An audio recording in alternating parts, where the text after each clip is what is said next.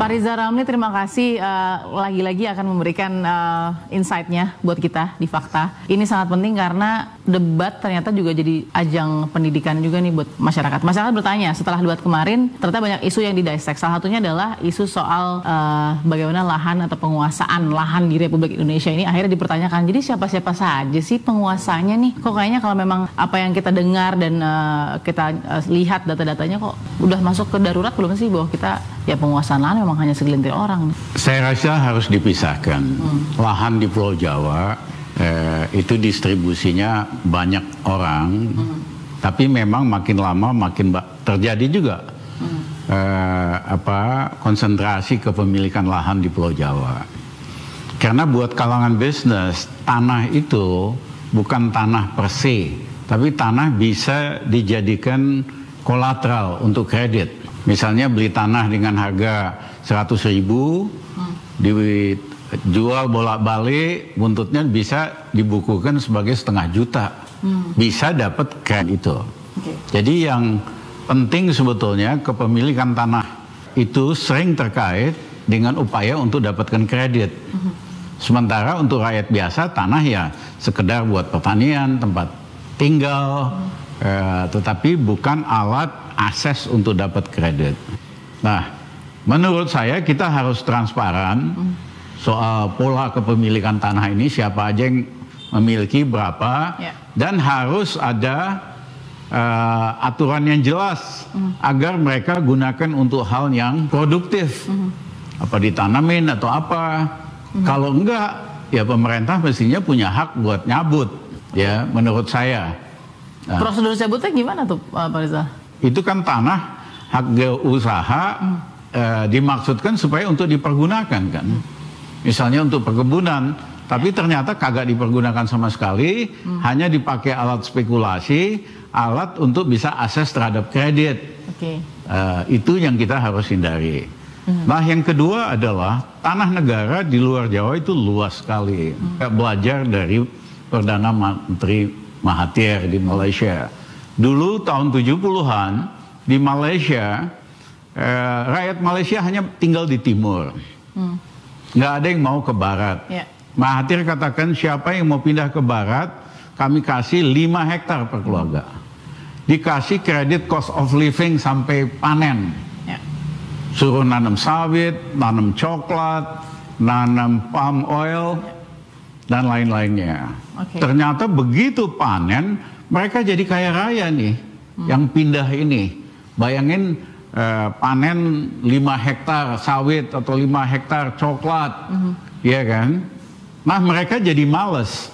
Akhirnya mereka panggil 3 juta orang Indonesia buat kerja di kebun-kebun sawit uh, di Malaysia. Yeah.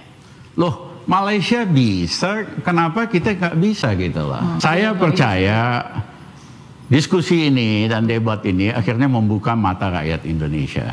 Hmm. Yang tadinya nggak sadar ada orang yang memiliki dekat sama kekuasaan.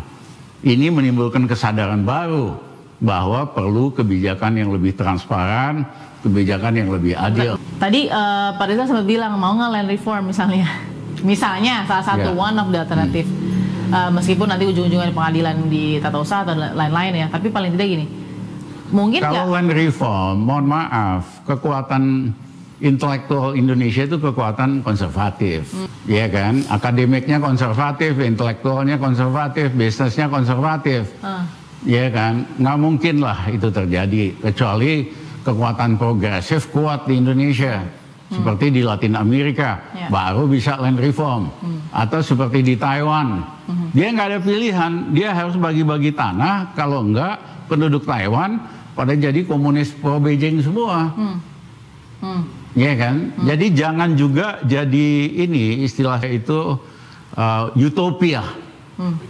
Kalau yang ada yang radikal nih maunya kan bagi-bagi tanah orang kaya gitu. Ya. Itu Ekstrem tapi ya. dalam konteks Indonesia itu utopia. Hmm. Karena kekuatan yang progresif itu kecil sekali. Hmm.